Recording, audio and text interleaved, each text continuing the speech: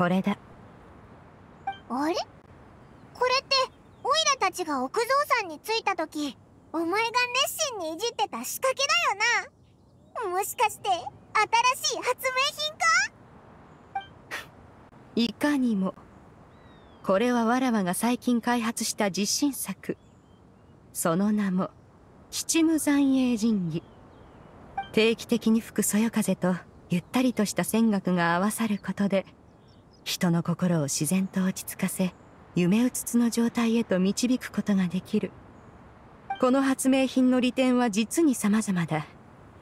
不安に駆られている人の心を落ち着かせたり疲弊した人に良い夢を見せたりできる。もちろん記憶をなくした者が使えば過去の自分を思い出す手助けにもなるだろう。こんないいもんなんで今まで出さなかったんだよ。最初から奥蔵さんに来てればすぐ解決してたかもしれないのに。何を言う？延体が過去の様々なことを思い出していなければ七無残影神器であっても最後の後押しができぬのだ。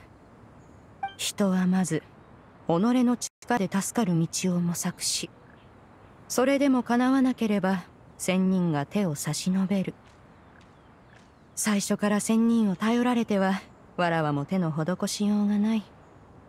そうだったのか。でこっちは何だ？さっきも言った通り七無残影神器には仙人の奏でる音楽が必要だ。これは歌人老一に頼んで演奏してもらった戦楽あやつの奏でる調べは効果てきめんだからな。本当だ。なんだか体がふわふわするぞ。まるでお腹いっぱい食べた昼下がりに芝生でゴロゴロしてるみたいだ。だんだん眠くなってきた。どうだ延体少しは気を休めることができたか？うん。今の延体の胸中には様々な思いが渦巻いているようだ。わらわたちは少し離れ今は一人にしてやろう。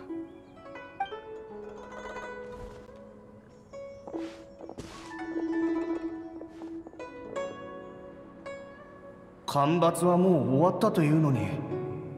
なぜまた悲しい顔をしているんだ？薬の効き目がもうすぐ切れてしまうの。君に出会ったことを後悔したことはない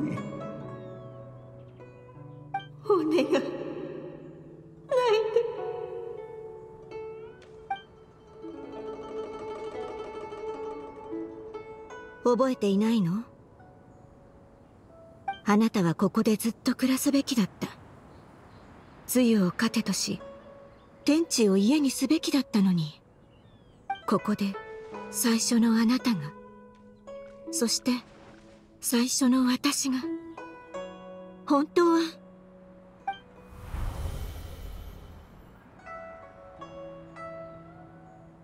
はあ。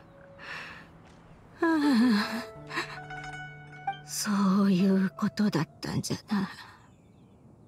通りでここを懐かしく思ったわけじゃ。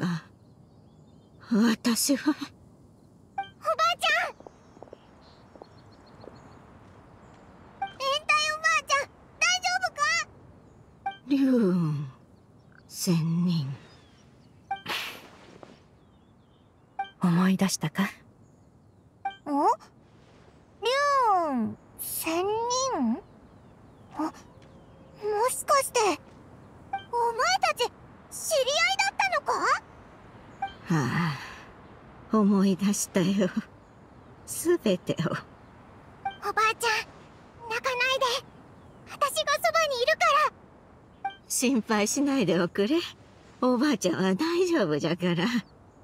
みんな私のことでいろんな場所を走り回らせてしまってすまなかったねやっと思い出したよ。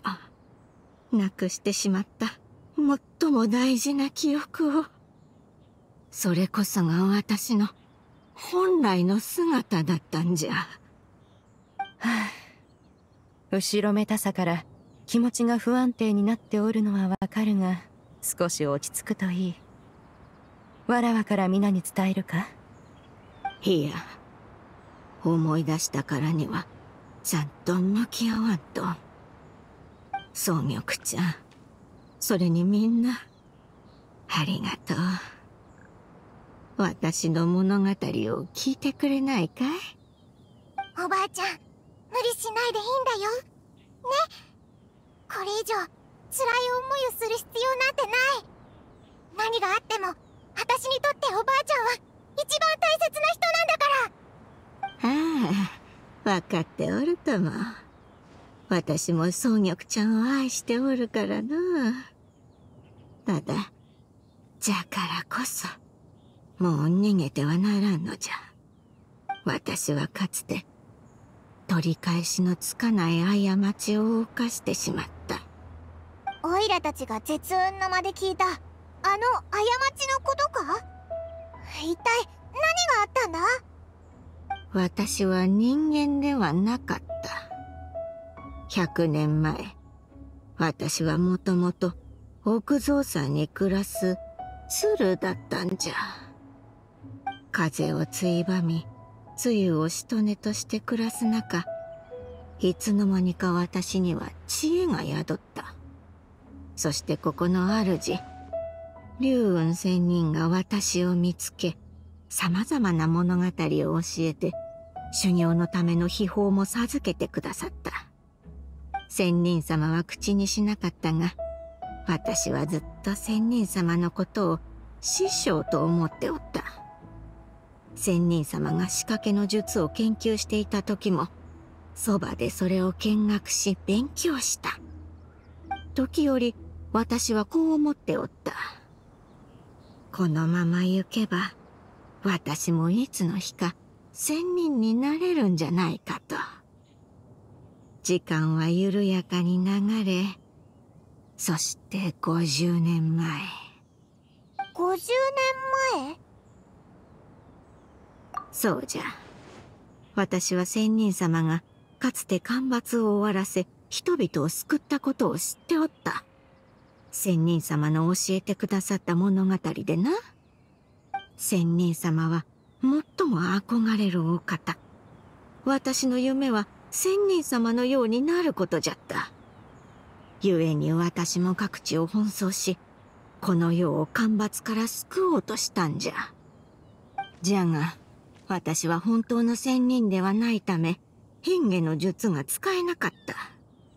すると仙人様は私のために変化薬を作ってくださった。薬の効き目は10年しか続かないと仙人様はそうおっしゃった。10年後鶴に戻らなければその過去を永遠に忘れ獣とも人間とも仙人とも呼べない存在になってしまうと。まさかこれが物忘れの原因だったのか？もしかしておじいちゃんのために？そう愛する人ができたんじゃ。彼は人間じゃった。ずっと天候山にこもって修行していたらしくその時彼も初めて下山したとのことじゃった。そそっかしくて不器用で力量も私には及ばないというのに。私と同じように胸に熱い志を抱いておった。何としても世の苦しみをなくそうとな。私はあの人に惹かれるようになった。じゃが変化薬の効き目は10年。あっという間に時は過ぎてしまった。私はあの人と離れるのを惜しみ。それで私は。そんなことが。私は過ちを犯してしまったたとえ茨の道を一生歩むことになろうともたとえ人とも仙人とも呼べぬ化け物になろうとも私はあの人と一緒にいたいと願ったんじゃ。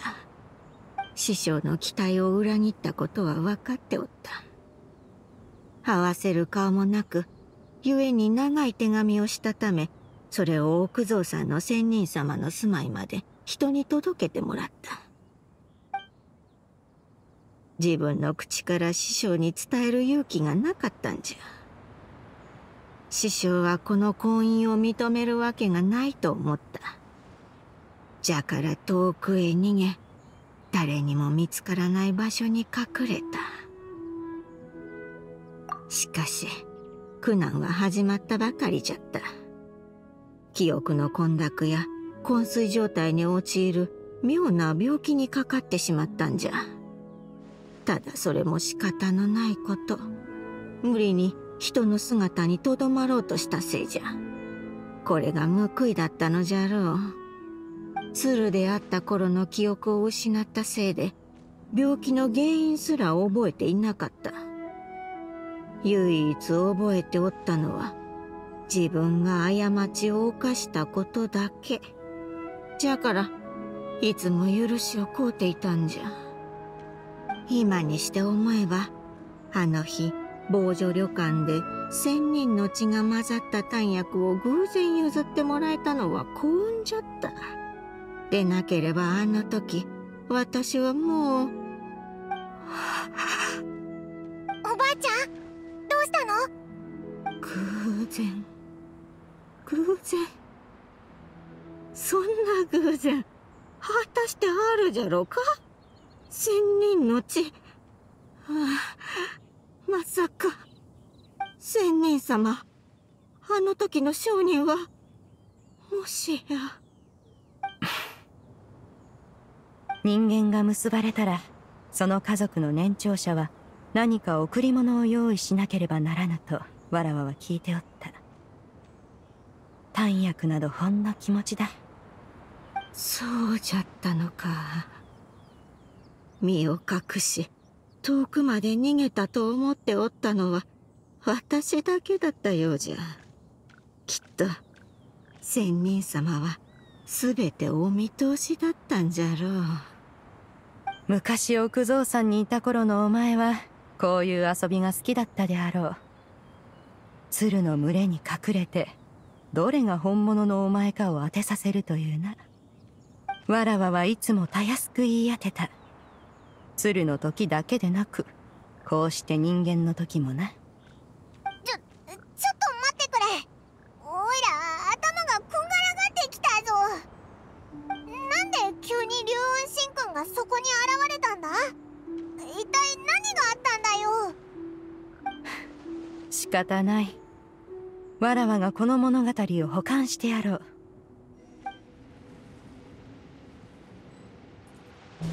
変態あの時のお前の置き手紙を見てわらわはひどく腹を立てたのだ。お前にしっかりと説教してやらねばとな。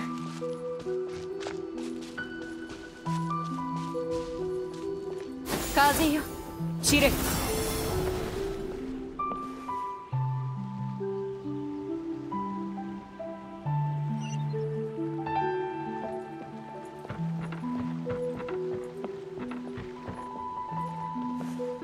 正直お前が選んだあの若造をわらわはさほど気に入っていなかった。天候奉仕でありながらもあやつには大した才がなく呪符の扱いも拙いものだったからな。だがしばらく観察しているとあやつは病気のお前に尽くし長い看病生活にも愚痴一つこぼさなかった。あやつが心優しい人間であることは見て取れた。故に他のことは多めに見てやろうとわらわは思ったのだ。せっかくの縁談を悲しい結末にしたくなかった。そこでわらわは貴重な素材をいくつか集め自身の血を媒介に弾薬を作ることにした。変化薬の副作用を根本から取り除くことはかなわぬが多少は抑制することができる。どうやってお前に渡すかについてはいろいろと考えを巡らせた結果直接渡すことにした。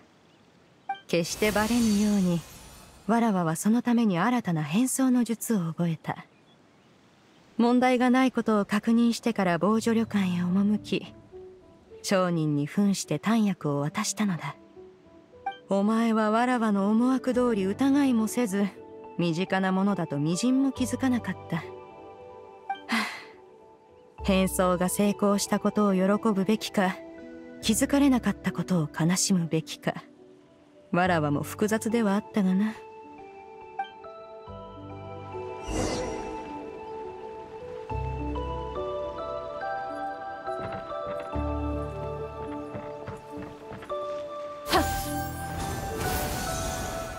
知れ。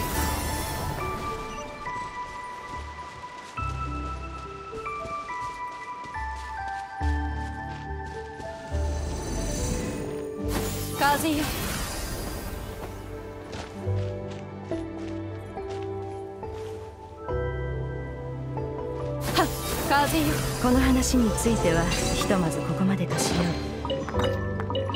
う。だがわらわが言及したかった点はこれだけではないぞ。記憶を失ったのは分かっておるが仙人の血を飲めば魔物に狙われるようになる。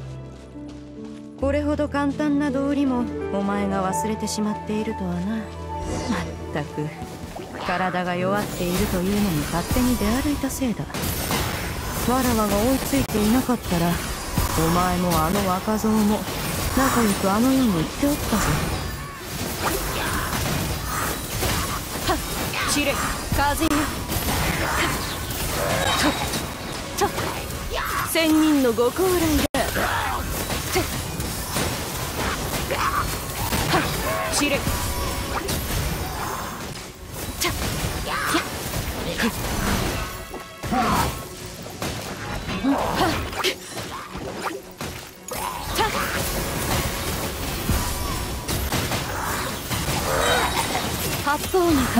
羽ばたかんほってかやはっ風よ。知れ。ただの魔物がああも群がることはない。おそらく魔人の残死の影響を受けていたのだろう。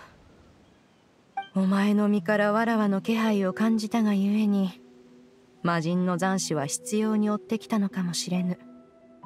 何しろわらわも魔人戦争に関わった身。中にはわらわがあの時打ち砕いた者もいたかもしれぬからな。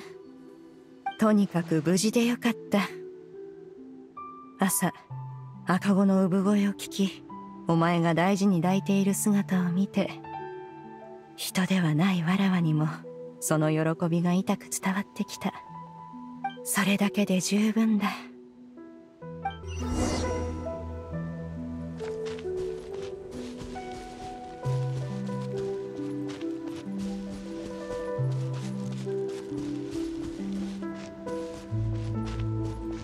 事のあらましは大体こんな感じだ。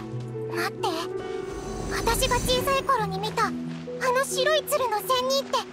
もしかして。おおそのことか。忘れるところであった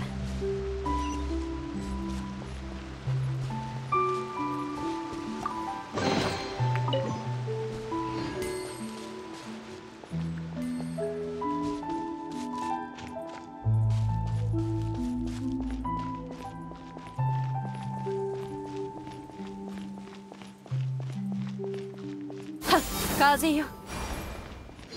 お前は延滞にそっくりでほっとけなくてな。あの時のお前は高熱を出していたゆえ同点に連れ帰って見てやるつもりだった。だが予想外なことにお前はわらわを見るなり泣き騒いでついてきてくれなかったのだ。理由を聞くとなんとわらわが本物の仙人ではないと言い出すではないか。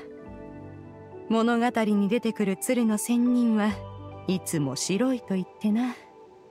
わらわは仕方なく粉を身にまぶして羽を白く染めた。するとお前は喜んでわらわについてきてくれた。変態が人の姿になる前あの子は純白に近い鶴だった。はあ。